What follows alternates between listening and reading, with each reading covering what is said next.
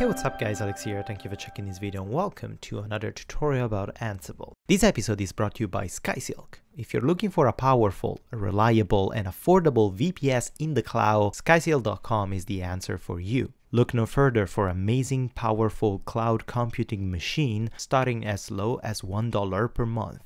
Click the link in the description below to learn more. In this video, we're going to take a look on how to localize our Ansible options in order to be manageable and shareable between multiple projects. In the previous lesson, we saw how to connect Ansible and how to ping our server by updating the etc ansible hosts file. This is the global host file that Ansible looks into our system whenever we trigger a command. This is great if we are the only one using Ansible and we're planning to use it only in one machine, but it's not really scalable, it's not really a great choice when it comes to using the same Ansible configuration on multiple projects. So let's take a look on how to set up Ansible on a local folder base. First of all, let's delete this IP from our host file and then we can save the file and close it. And of course, now if we try to ping all the hosts that we have, we're gonna have a warning because we didn't specify any IP address in our host file. So now let's set it up locally. I created a folder called Ansible tutorial, but you can call the folder in whatever location you want in your system. It doesn't have to be in any specific location. Inside this folder, I'm gonna create the first file and the first file is gonna be called ansible.txt CFG. And this is a config file that Ansible automatically looks for it in the location we trigger that specific Ansible command. If it doesn't find anything like ansible.cfg file, it grabs the default configuration in our system. Here we can override some uh, defaults configuration and the defaults is a group where a bunch of options can be set. In the defaults group we can set first which inventory Ansible should use and the inventory is basically the file that handles the list of IP addresses that we want to use to connect. And of course we can specify this very own location by typing dot forward slash and say hey just use the hosts file. And of course, we don't have any host file in this directory. So let's create a new one right now and let's call it just hosts. We don't need to specify any extension for this file because this is an ini file or ini file, whatever you want to call it. And here we can use a really simple syntax that doesn't require any special character. So we can simply write the same thing that we had in the system hosts file so we can paste our IP address.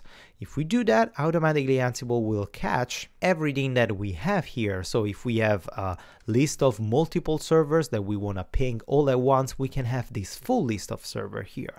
But if we have multiple servers and we don't want to ping them all or we don't want to trigger all the tasks that we're going to define later for all the servers in once, we can split or separate these specific IP addresses in unique dedicated categories. So, like the same way that we did in our Ansible config file, we can specify a category in between square brackets called however you want. I'm gonna call these web and then I could potentially, but now I don't have another server, I'm gonna set it up in a later moment. I could potentially have these other IP that belongs to the staging category and I'm gonna have another IP, for example, 122 that belongs to the production category. So we could potentially tell to Ansible, hey, just ping the web or just deploy on staging or just update PHP on production. And we're going to take a look on how to do it just in a bit. This is just to show you how flexible is the host file that it's basically a really simple and streamlined file where we could have uh, 10, 20, 100 different IP addresses and perform different tasks and different actions on all these servers all at once with just one simple command. In the Ansible config file, we can specify also the type of transport that by default Ansible uses a smart type of transport. The transport is the way that Ansible connects to your server, and we could specify two different options. We could specify the SSH or the Paramiko, whatever you want to call it. Uh, these are two different plugins in order to have an SSH connection. If you leave smart, automatically Ansible will detect which plugin is available in your system and which type of connection your server accepts, and it's gonna automatically select the best one for you. So let's just leave it like that. Now we can open once again our terminal and we can trigger once again Ansible all the action-m ping and with the user root. If we hit enter, we're gonna have the response that the first one of course points to the correct IP address that we actually have that I actually have and I'm connected via SSH. The other two are unreachable because the SSH cannot connect to the specific host but because we specified all, automatically Ansible it's connecting to or trying to ping all these servers at once, but these two we don't have it, so we can also tell to Ansible, hey, we don't want to ping them all, but I just want to ping the web category. So just that IP that belongs in the web category. And if I hit enter, automatically I'm gonna have a successful call, which is great. We can improve a little bit our life and simplify our action by specifying the type of user that Ansible should use automatically when connecting to a specific host. So let's delete these two because are pretty useless.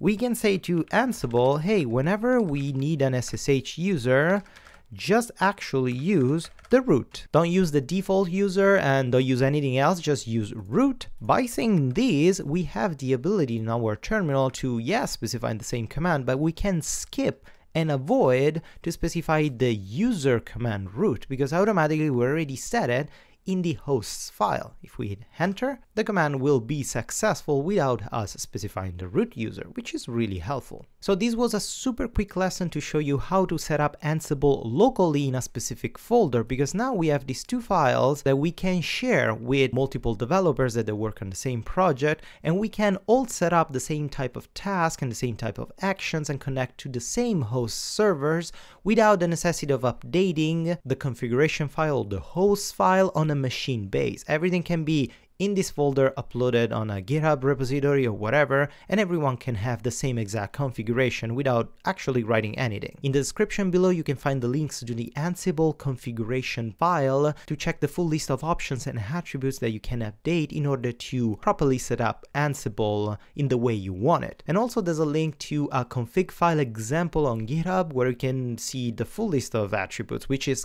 kind of overwhelming, but at least you have uh, an easy go-to place where you can copy paste all the presets that you would need in a specific project. In the next lesson, we're gonna see how to actually create our first playbook and write some cool tasks in order to automate a lot of things in our server. Well, that's pretty much it for this video. I hope you guys like it. If you did, please give it a thumbs up or subscribe to my channel. And until the next lesson, as usual, happy coding!